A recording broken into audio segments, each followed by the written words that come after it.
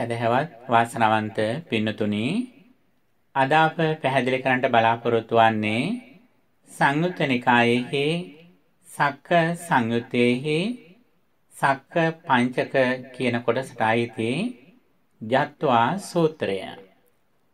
මේ සූත්‍රය භාගතුන් වහන්සේ දේශනා කරන්න හේතුනේ සක්‍ර දේවේන්ද්‍රයා බුදුරජාණන් වහන්සේ වෙතින් අසන ලද ප්‍රශ්නයකට පිළිතුරු වශයෙන් භාගතුන් වහන්සේ සවැත් නුවර දේවරම් විහෙරෙහි වැඩ වාසය කරන අවස්ථාවක සකර දේවේන්ද්‍රයා බුදුරජාණන් වහන්සේ වෙත පැමිණියා.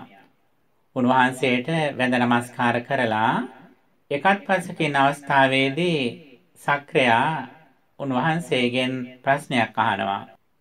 කිංසු ජත්වා සුඛං සේති කිංසු ජත්වා නසෝචති කිස්සස්ස ඒක ධම්මස්ස වදං රෝචේසි ගෝතමාති කියලා.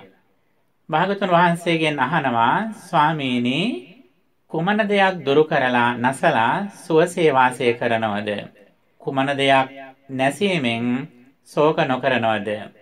කවරනම් එකම ධර්මයක නැති කිරීම, දුරලීම, නැසීම රුචි කරනවද? භාගතුන් වහන්සේ කැමති වෙනවාද කියලා ප්‍රශ්න කළා.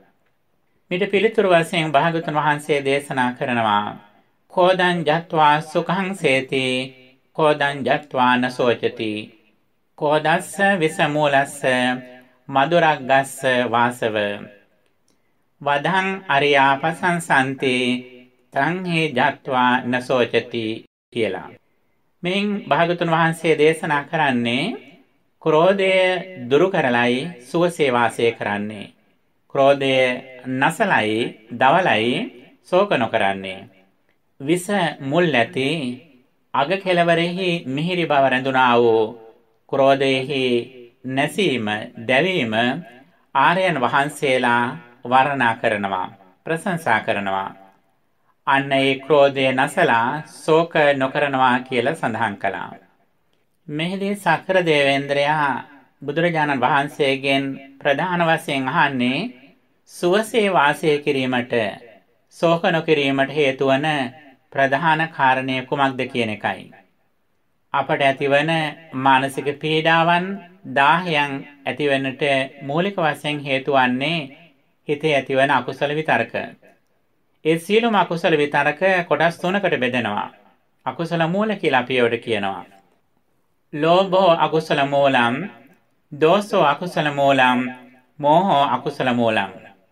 ලෝභය අකුසල මූලයක්.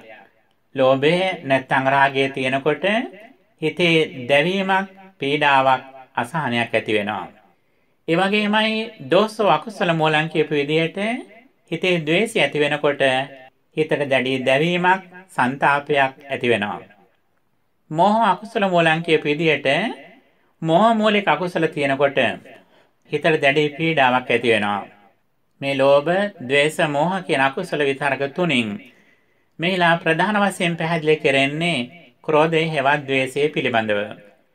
द्वේෂය ඇති වෙන හේතුව තමයි අනිෂ්ඨ අරමුණක් ඉන්ද්‍රිය වලට පතිත වීමත් එම අනිෂ්ඨ අරමුණ පිළිබඳව අයනුස්සව මනසිකාරයෙන් මෙනෙහි කිරීමත් වශයෙන් උයි द्वේෂය ක්‍රෝධය හටගන්නේ.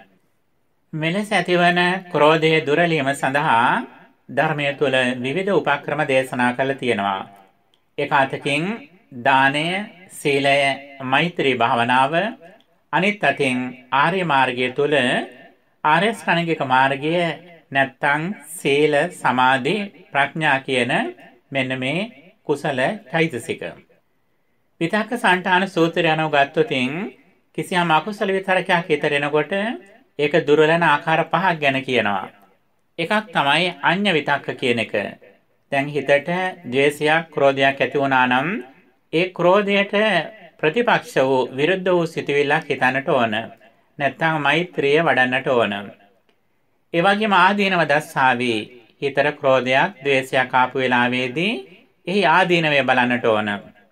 මෙවැනි විතර්කයක් තියෙනකොට මගේ හිතට කොයිතරම් පීඩාවක් නේද කියලා හිතනකොට අන්න ඒ තුලිනොත් මේ අකුසලය දුරු කරගන්නට පුළුවන්. ඒ වගේම අසති යමනසිකාර කියලා එකක් තියෙනවා. යම්කිසි දෙයක් සිහි කරනකොට තමන්ට ක්‍රෝධයක්, ද්වේෂයක් ඇති වෙනවා නම් ඒ අරමුණ සිහි නොකරින්නට ඕන. මෙවැනි ආකාරයේත් බැරිනම් විතක්ක මූල సంతාන කියපු විදිහට ඒ විතර්කයේ මුලටම ගිහිල්ලා ඒකට හේතු වෙච්ච කාරණා විවේකීව සිටීමෙන් හිත තැම්පත් කරගනිමින් එහි මුලම මෙනෙහි කරලා සමත වශයෙන් හෝ විදර්ශනා වශයෙන් දුරු කරන්නත් පුළුවන්. එහෙමත් කිසියම් කෙනෙකුට අපහසු නම් ඒ කෙනා දැඩි වීරියක් අරගෙන සිය ශරීරයේ උපරිම ලෙස පාවිච්චි කරලා ඒ විතරකයේ දුරු වෙන මට්ටමට සිය දිව දත් මුඛය ආදී මේවා උපයෝගී කරගනිමින් ඒ විතරකයේ දුරු වෙනකන් ශරීරය දැඩි කරගෙන ඉන්නේ කියලා සඳහන් කරලා තියෙනවා.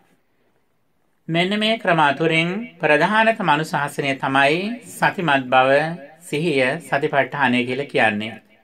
එතෙන්ට සම්පූර්ණයෙන්ම අපි අවතීර්ණ වෙනකම් සීලමය වශයෙන් කායික වාචසික සංවරයෙන් කිසියම් ප්‍රමාණයකට අපට ක්‍රෝධය දුරු කරගන්නට පුළුවන්. ඒ සඳහා අප සිල්වත්ව කාලය ගත කරනකොට අපේ හිතේ දැඩි ද්වේෂය තිබුණත් ද්වේෂයෙන් අගතියට ගිහිල්ලා අකුසලයක් කරන මට්ටමට අපි යන්නේ නැහැ. වෙනත් විදිහකින් කියනවා නම් ප්‍රාණඝාතයක් අපේ අතින් සිද්ධ වෙන්නේ නැහැ. ඒ වගේම රළු පරස වචන අපේ අතින් කියවෙන්නේ නැහැ. අන්න ඒ තුලින් අප කිසියම් විදියකින් තදංග වශයෙන් මේ ක්‍රෝධය යටපත් කරගන්නට පුළුවන්කම තියෙනවා. ඒ අතර අප වඩාත් ඉදිරියට ගිහිල්ලා භාග්‍යවතුන් වහන්සේ දේශනා කරනවා මෙත්ත සූත්‍රයේදී යම්තන් සන්තම් පදං අபிසමෙච්ච සබ්බේ සත්තා භවන්තු සුඛිතත්තා කියලා. කිසියම් ශාන්ත පදයක් කැමතිනම් ඒ කෙනා සියලු සත්වෝ සුවපත්ත්වා කෙන පැතුම වඩනටේ කියලා ප්‍රාර්ථනාව කරන්ටේ කියලා. අපේ මානසික පීඩ ඇතිවන්ට හේතුවන කරුණු අතරින් ප්‍රධානතම කාරණයක් තමයි ද්වේෂය කියන එක. ඒ ද්වේෂය අන්තයට ගියොතින් අපි කොයිතරම් අනර්ථයක් වෙනවද කිව්වොත් මෙලොව ජීවිතෙම අසාර්ථක වෙලා අපේ ජීවිතයේ නොයෙක් කරදරකම් කටවලට මුහුණ පාලා පරලොව ජීවිතේ නිරේගාමී වන්නට තරම් මෙය ප්‍රබල අකුසලයක් බවට පත්වෙනට පුළුවන්කම තියෙනවා.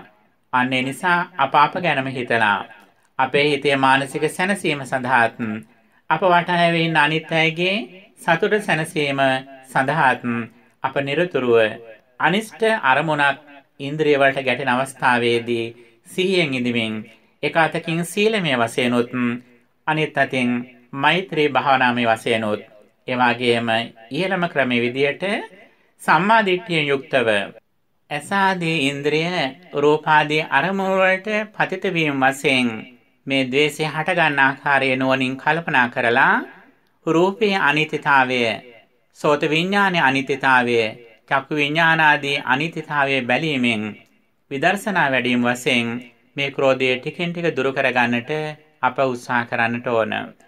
සම්බුද්ධ ශාසනයක් ලබාගත්තා වූ මේ දුර්ලභ අවස්ථාවෙහි අප මෙලව ජීවිතයේ දුකින් කාලය ගත කළ යුතු නැහැ. පරලෝ ජීවිතයේ දුගතිගාමී කරගත යුතු නැහැ.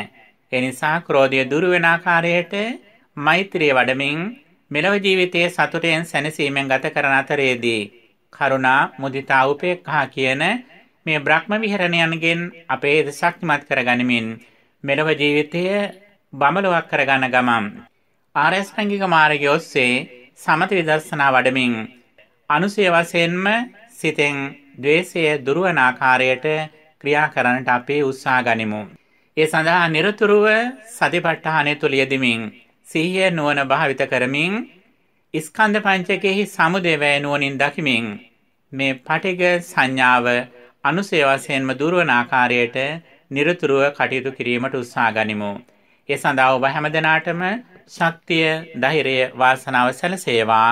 මේ ශ්‍රවණය කරන ලද ධර්මය ඔබ අප හැමදෙනාටම ධර්මාබෝධය පිණිසම හේතු වේවා. හැම දිනාටම තුනුරුවන් සරණයි